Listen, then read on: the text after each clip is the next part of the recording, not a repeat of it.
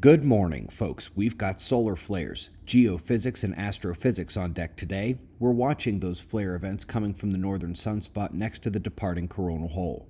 There were actually three eruptions from the grouping, with the first lacking a larger flare component. Meanwhile, the incoming active region top left took the day off from eruptive activity.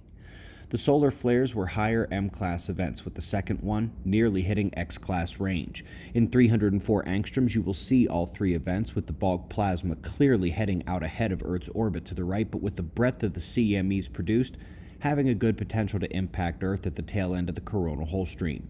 The Enlil spiral has been updated to show one of those CMEs with a good chance of impacting Earth, so over the coming days, we should be seeing the coronal hole stream impact followed by at least one CME impact. Geomagnetic storm likelihood is relatively high this week, but none should reach major levels. Just all depends on the successive timing and interplanetary magnetic field.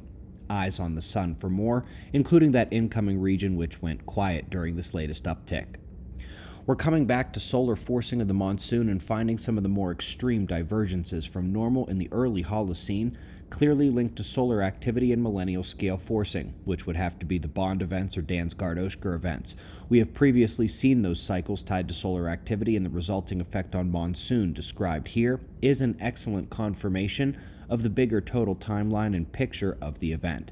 Speaking of confirmations, yet another look at pre seismic anomalies.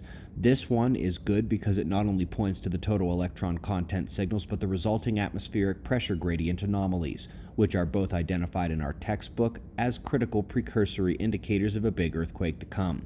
By the way, those earthquake precursors are detailed in Chapter 7 of Weatherman's Guide to the Sun, and the previous story about millennial scale forcing and solar influence is broken down even deeper in our latest supplement, which not only updates Weatherman's Guide, but our book on Earth's disaster cycles, The Next End of the World, which is where we really begin breaking into nova astronomy today. We've got two in that realm, starting with the silicate dust produced in a recent outburst of a known recurrent nova.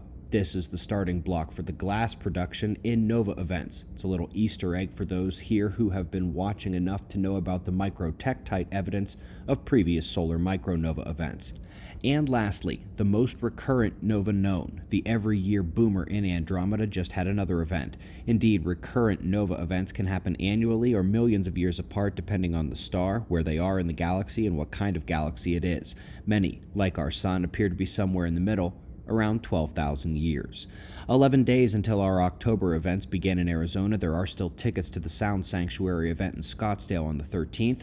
Link to the event, to our playlist, to our websites, and to our books, all found in the description box below the video. We greatly appreciate your support. Subscribe and we'll do this all again tomorrow.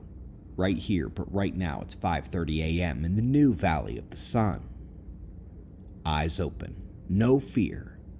Be safe, everyone.